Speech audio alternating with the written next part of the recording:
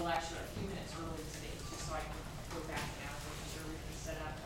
So, um, just as part of, a review and just kind of getting one thing in, you all will recall that we were discussing the structure of viruses. And we said that, uh, the, the simplest virus, a naked virus, would consist of two basic parts. A protein coat, um, referred to as a capsid. The capsid can come in different shapes, for example, polyhedral shape, helical shape. We'll talk about so-called complex viruses, which have additional, um, uh, structure. And then, um, the primary function of the protein coat or capsid is to protect the genetic information of the virus. Now, viruses do have nucleic acids as genetic information, but unlike cells, viruses have either DNA as their genetic information or RNA as their genetic information, not both. Now, we will find with viruses, they love to break all our rules, so there are a few exceptions to the either DNA or RNA, but not both. Um, but we will say in general, viruses have either DNA or RNA as their genetic information. And we'll see that the type of genetic information viruses have will influence their potential for rapid mutation. We'll come back to that. Now, some viruses, um, in addition, may steal some of their host cell membrane and use that as an outermost coat. And that stolen host cell membrane is referred to as a viral envelope. Now, only some viruses have envelopes. Okay, so this is another way we can classify viruses. We can classify them as being enveloped, um, having that stolen host cell membrane on the outside, or we'll classify them as non-enveloped or naked viruses, in which case the protein coat is the outermost layer. Now, um, just to keep going a little bit on these enveloped viruses, this is a, a picture of an enveloped virus. Here's the protein um, coat or capsid, and inside is the genetic information. This outermost layer then is stolen host cell membrane, the viral envelope. What's important for us to note is that the virus must modify that stolen host uh, cell membrane before they steal it. And the modification is they have to insert some of their viral proteins. Often these are called glycoproteins, have little sugar or carbohydrate groups attached.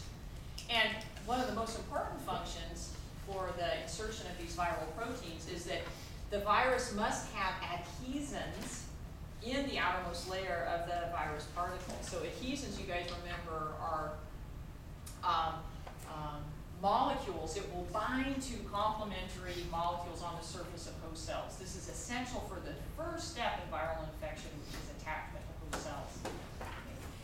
Now, the, um, let's see what we got here.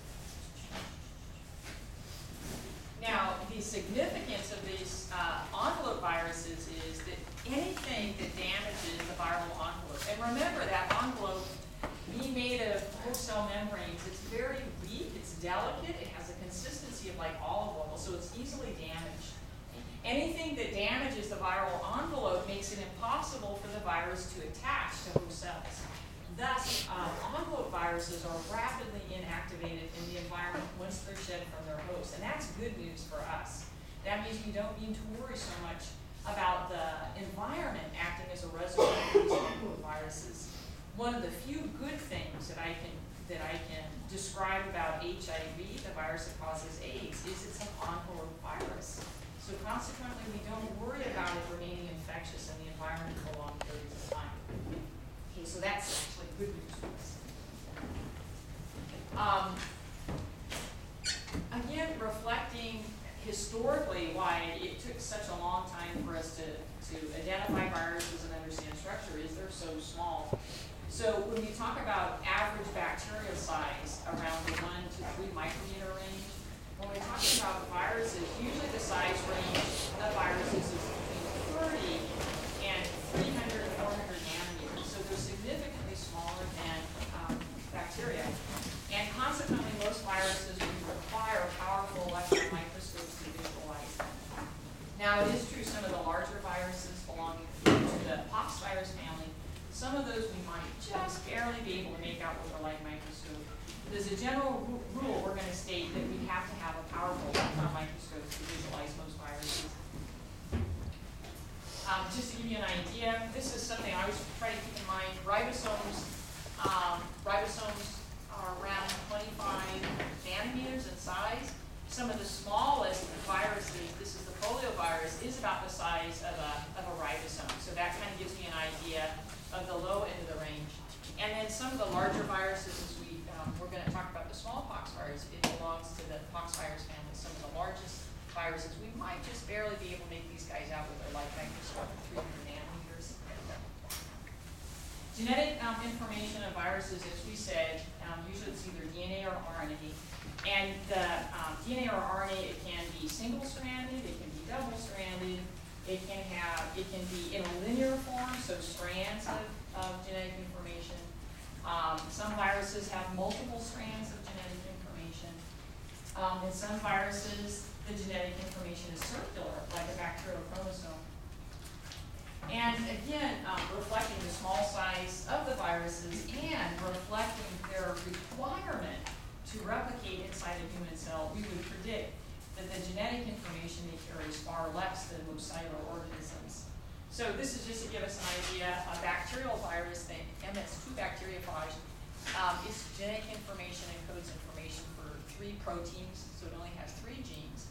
In contrast, one of the smallest bacteria, one of the smaller bacteria, the chlamydia, um, even though they're some of the smallest bacteria, they still have um, genetic information for a thousand different a thousand. So we, we see why this lack of genetic information is one reason why viruses must invade cellular organisms and use their biosynthetic machinery to replicate themselves. This is just to give us a visual. This is a um, E. coli that's been lysed. And all of the spaghetti strands here is the single chromosome of the E. coli, just phenomenal how it fits into that cell. So all of this is the E. coli chromosomal DNA. And up here is a little bacterial virus uh, genetic information. So you just see size-wise, the viral genetic information is far, far less than that of even the smallest, one of the smallest bacteria. Viral shapes, uh, again, often determined by the shape of the capsid. So we have helical, um, helical capsids coding the genetic information, such as the tobacco mosaic virus. The polyhedral, um, very commonly, um, the most common polyhedral shape we'll see is what's called an icosahedral shape, um, uh, polyhedrals of 20 triangular faces. Um, complex viruses, um, an example we'll talk about are the bacteriophages, bacterial viruses. This represents their capsid or head that protects the genetic information. But then in addition, they have these very elegant tails that will be used to um, attach to the surface of bacteria. And then this portion of, of the tail acts as a hypodermic syringe. Is through this hollow protein tube that the genetic information will be injected into bacteria. We'll see that in just a few minutes. Um, so with um, the viruses, we will be talking about a few examples of specific um, animal, human DNA and RNA viruses. And so uh, I, I understand you want to know what you're responsible for on the exam. So of the viruses we talk about, I would like you to know, are they DNA viruses or RNA viruses? And the second thing I'd like you to know is, with regard to structure, are they naked or envelope viruses? Now, this um, table here, we won't be talking about all of these viral families, but those of you, for example, we'll talk about the pox virus family, the herpes virus family. We'll talk about the papilloma virus family. Are responsible for so-called warts. Um, and we will look at the um, hepatitis B uh, family, adenovirus family. Um, so you just want to remember, these are all DNA virus families. And what I did, I, I just modified this table. If it's a naked virus, I put an N here. Okay, so we'll see that the pox viruses, herpes viruses, and adenovirus, hepatitis B viruses, they're DNA viruses, they're enveloped. The only DNA virus we'll discuss that lacks an envelope that's naked will be the papillomaviruses, the so-called wart viruses. Um, also, you guys, we just want to count the number of virus families, and you'll see that virus family names ends in viridae. So how many DNA virus families do we have? One, two, three, four, five, six, seven. Okay, so seven DNA virus families. In contrast, look at the number of RNA uh, virus families. So, wow, one, two, three, four, five, six, seven, eight, nine, ten, eleven, twelve, thirteen, fourteen, fifteen, more than twice the number of DNA virus families. And we might, we um, think, why is this? Why is there such diversity amongst RNA viruses? And I would like to propose it's because of the genetic information and the enzymes that copy the viral genetic information. So with DNA viruses, which enzymes would copy the viral DNA? Which enzymes would use DNA as a template to synthesize complementary DNA? Good, DNA polymerase, right? Now, does DNA polymerase proofread or edit? Yes. Yes, it does, right? So it has a relatively low mistake rate. And whenever we're talking about mistake rates, when we're making, um, a nucleic acid, each mistake is considered what? A, a mutation, right? So DNA viruses, since their genetic information is gonna be copied using DNA polymerase, which makes very few mistakes, it means that DNA viruses have a relatively low mutation rate. Now, in contrast, you guys help me out. What about RNA viruses? Which enzymes are gonna copy RNA? Which enzymes synthesize RNA? You, you got it, excellent, okay, so RNA polymerases, and what do we know about the proofreading ability of RNA polymerases? There's no proofreading, right? Okay, so no proofreading, so what impact does that have on the mistake rate? High mutation rate. Yeah, high mistake rate, and what does that mean for the, um, potential for mutations of these RNA viruses? High potential for mutation, right, so they have the potential to mutate rapidly, so I'll put potential, potential and high mutation rate. And I'm gonna propose that this might help us understand why there's greater diversity amongst the RNA viruses, like we said, you know, RNA virus families compared to seven DNA virus families. I think, to me, this is probably a reflection of that rapid mutation rate amongst the RNA viruses. And so we just, wanna always have that, kind of on the back burner, we never wanna forget that, this potential for high mutation rate for RNA viruses.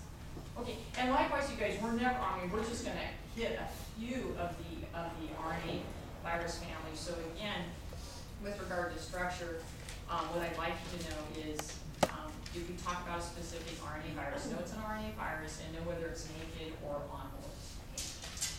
All right, so, um, what we're gonna do then is quickly go through, uh, viral replication, one of the earliest models that folks use to study how viruses replicate. And the model was bacteriophage, uh, viruses of bacteria. And the reason, the reason that the first studies were done on bacteriophages is that there was no ethical or moral, um, issues with using, um, bacteria to infect drug. You know, there was no lobby to protect the bacteria. And also it's very, um, inexpensive, it's, it- these are very relatively inexpensive experiments that can be run in labs.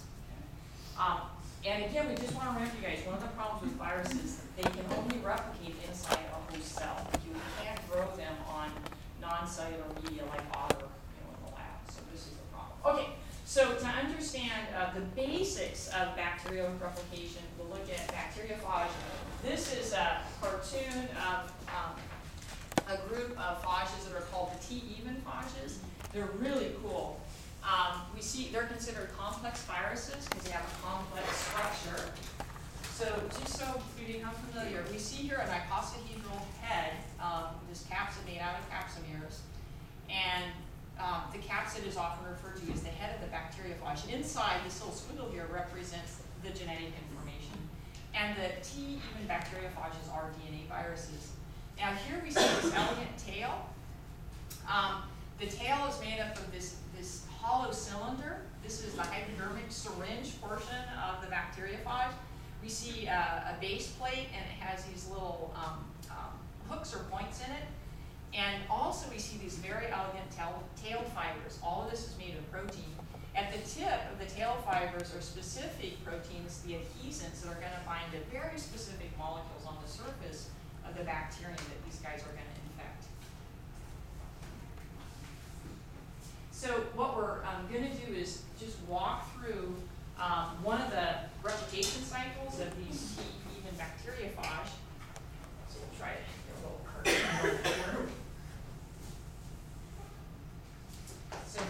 odd replication. And replication means to make copies. There's two Fosh replication cycles. One is called the lytic cycle.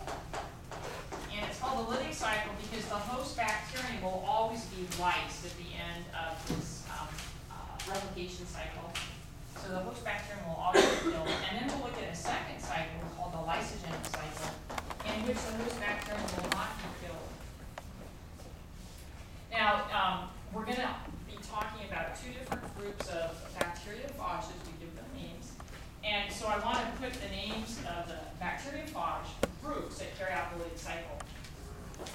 So these T even 5,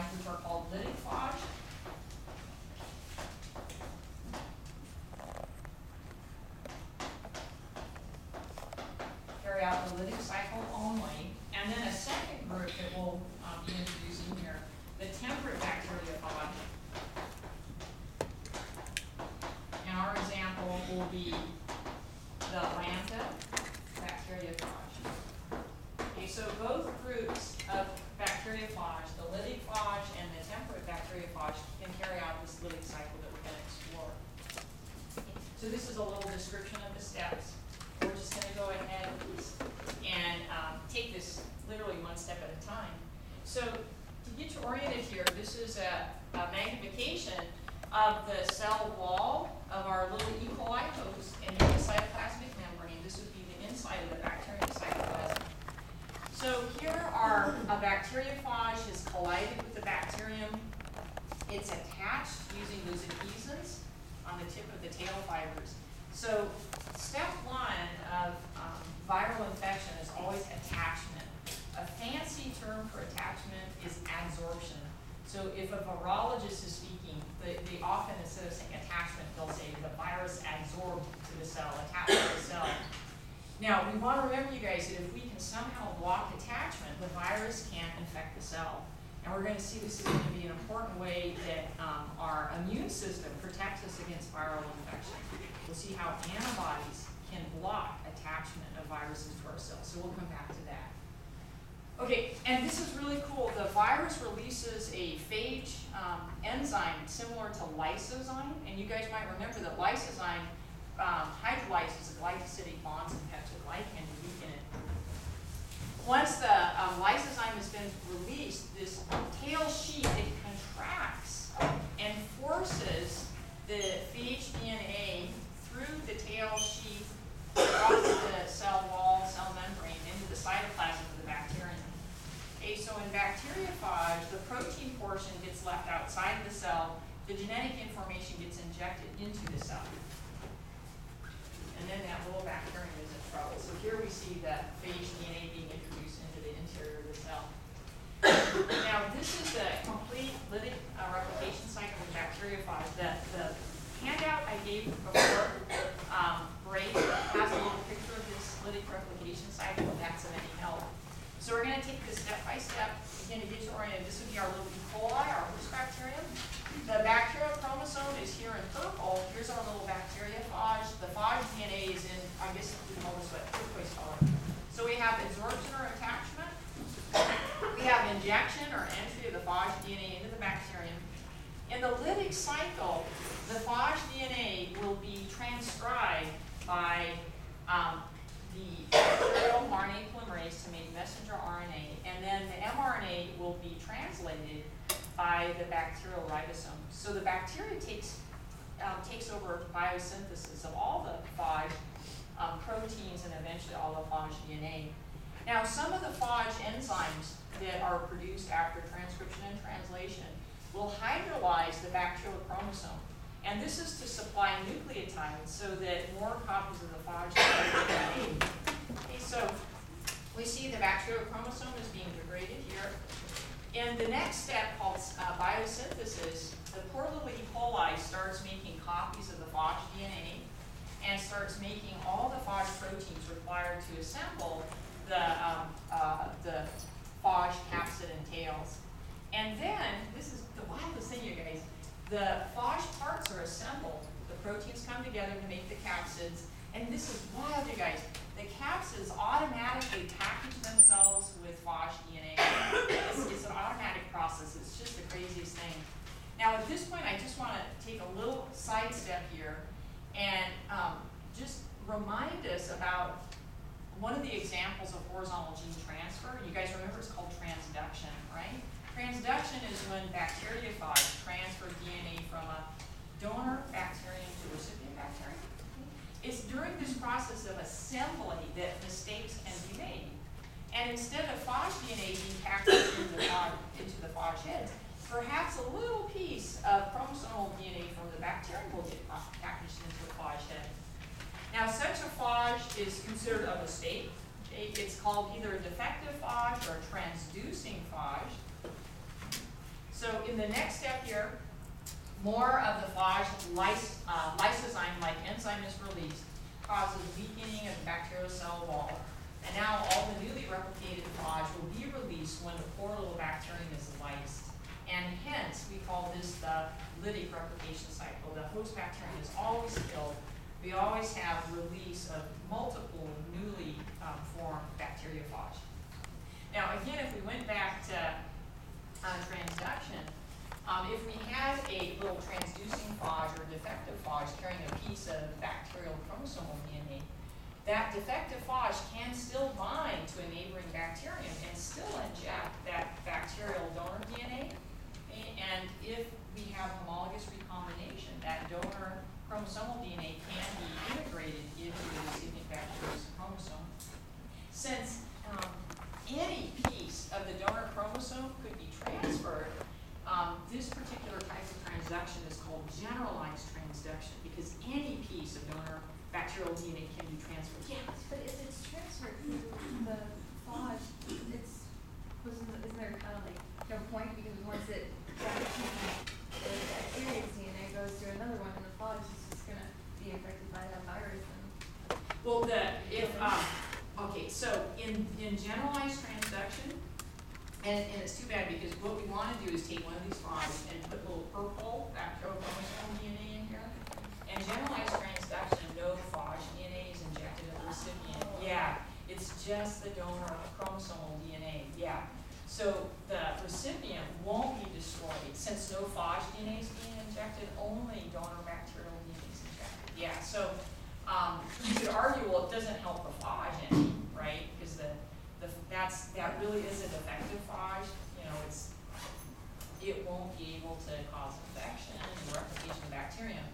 But it's a powerful force in the evolution of genetic diversity in bacteria. Yeah, yeah, yeah. Okay. So that's the so-called lytic cycle. Um, the result is always the host bacterium is killed, and we always get release of new, uh, newly replicated viruses. Now, the next uh, replication cycle is called the lysogenic cycle. Oh, and here's just a really cool cartoon of the assembly process. Okay, the next uh, type of replication cycle we're gonna look at is the lysogenic cycle. And only temperate bacteriophage can carry out the lysogenic cycle. Lytic phage can't. And so the example we're gonna use of a temperate bacteriophage is a lambda phage, a lambda bacteriophage of E. coli. Okay, now we'll see in the lysogenic cycle that the first two steps are identical to the lytic cycle. Step one, the adsorption or attachment of the phage is the same. Well, again, we'll have special, um, um, adhesins that bind to special receptors on the surface of the bacterial cell. We get contraction of the tail sheath that injects the phage DNA into the bacterium. Step two is the same. But what's significantly different is um, what happens after. In the lysogenic cycle, there is a phage repressor protein that's made. And the phage repressor protein binds to the operator on the phage DNA. Um, the operator that controls expression of the phage genes required for the lytic cycle. So if we have enough phage repressor protein produced early enough, the genes of, of the phage required for the lytic cycle are turned off, transcribed. And that will trigger the phage to enter this lysogenic cycle. Now, what happens to the phage DNA? This is so cool. The phage DNA will insert itself, integrate itself into the bacterial chromosome. So this is brand new, we haven't seen this before. phage DNA inserted into a bacterial chromosome has a new name. It's called a prophage, like before a phage, right? Now, as far as the E. coli is concerned, as far as the DNA polymerase of E. coli is concerned, that prophage DNA is now part of the bacterial chromosome. And it will be replicated whenever this bacterium is ready to divide. The prophage DNA will be replicated with the rest of the bacterial chromosome. So consequently, that prophage will be passed down generation after generation to all of the descendants of that original bacterium that got infected. So this bacterium is lysogen or lysogenized bacterium. Okay. And what we're seeing here is that generation after generation, that prophage can be copied and passed on to daughter, um, daughter bacterial cells. Yeah, so it's like, oh, that's so cool. So in the lysogenic cycle, we don't get replication of new infectious bacteriophage, but what are we replicating? The phage DNA, right? The phage genetic information is being replicated. Now, remember how we said the lysogenic cycle um, is maintained as long as we have that phage repressor protein present? So we might ask, well, are there situations in which the phage repressor protein would be destroyed? What will happen then? So we want, want to answer the first question and say, yes, indeed, there are situations in which that phage repressor protein will be destroyed. And when that happens, this is so cool, you guys. The phage undergo what's called induction. It will cut itself out of the chromosome and trigger the lytic cycle. This is wild stuff. Okay, so let's see if we can find, find out at least, okay, just the lysogenic cycle. Now we want to get to the exciting part, induction. Okay, so um, we want to explore further and say, well, what would cause that destruction of the phage repressor protein? Turns out anything that damages the DNA of the bacterium will trigger uh, kind of an emergency repair process. It's called the SOS response. And there are many new proteins, uh, new enzymes that are produced to help deal with massive DNA repair. And one of those proteins that is produced in this SOS response, it will, like accidentally, an un- unintended um, uh, process is one of these enzymes will destroy the phage repressor protein. So, if, if you know, guys, I always like to think of stories. So, what I like to think about the prophage is similar to a rat on a ship, and the ship is E. coli, right? And so the phage, or rat, is happy staying on the ship, right? It's getting replicated, all of that. Um, but what happens if the ship hits a huge coral reef and knocks a hole in the ship, and the ship is starting to sink? If you were that rat, do you want to go down with the ship, or what do you want to do? You want to jump ship, right? You want to get off the ship and maybe find another ship or find land. So that's what I like to think about these these little bacteriophage. They're the bacterium is like their boat. The phage are like the rats on the boat. Okay? Whenever there's any kind of DNA damage, that might signal this bacterium is going to die, and that phage, that phage DNA will be destroyed if the bacterium is destroyed. So our phage rat then wants to cut itself out of the bacterial chromosome if the bacterium is in the process of dying, cut itself out of the, uh, the bacterial chromosome, and then enter the lytic cycle Okay, so it can make many copies of itself. It can make the have the bacterium make the, the phage proteins. We'll have assembly and um, formation of the newly replicated phage, and then the phage will be released hopefully before the bacterium dies. Okay, so um, and again, you guys know I'm a bad biologist because I'm always coming up stories with like how phage are like rats and uh, E. coli is like a shit. But to me, it kind of makes survival sense, right? Right? Survival sense, even though we know the phage can't say. So again, this induction will be triggered anytime there's DNA damage to the E. coli. The resulting repair mechanism, the SOS response, will cause destruction of the phage protein. Okay, that triggers this switch from the lysogenic cycle to the lytic cycle, okay, which, which is described as induction. The, the phage cuts itself out, and we can see that the phage DNA then will be transcribed, the phage mRNA will be translated, we'll get phage proteins enzymes produce. And chop up the bacterial chromosome, we have biosynthesis of phage proteins, replication of phage DNA, we get assembly or packaging, and then lysis. And the whole idea is the phage wants to trigger that lytic cycle before the bacterium actually dies itself. Yeah, pretty wild stuff, right? But again, you know, you're like, oh gosh, you know, we're so tired, we got this lab record, why is this important? Why do we have to learn this?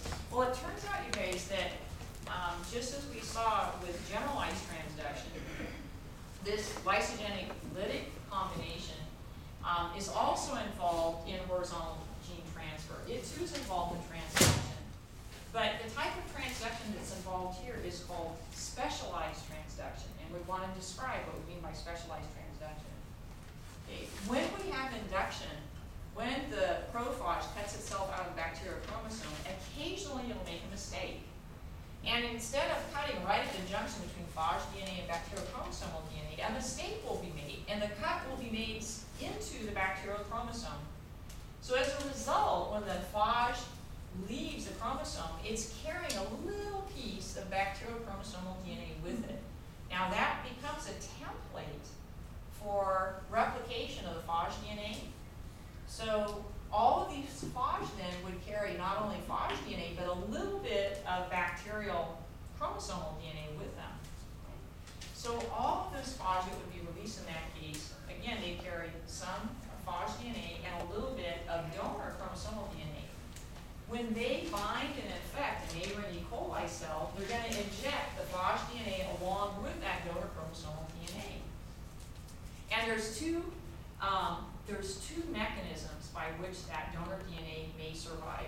If sufficient phage DNA is present, the phage DNA will, uh, can insert into the recipient's chromosome, taking that little piece of chromosomal DNA with it. Or if there's, um, if there's insufficient phage DNA present, the donor chromosomal DNA may get integrated into the recipient's chromosome by homologous recombination. And again, you're probably like, you know, why do we care? Why is this important? Well, it turns out that many of the toxin-producing bacterial pathogens that will, some of them we've mentioned already, um, some of them we'll be discussing a little bit later, many of those bacteria have acquired their toxin genes through specialized transduction. So let's just give you a couple of examples here.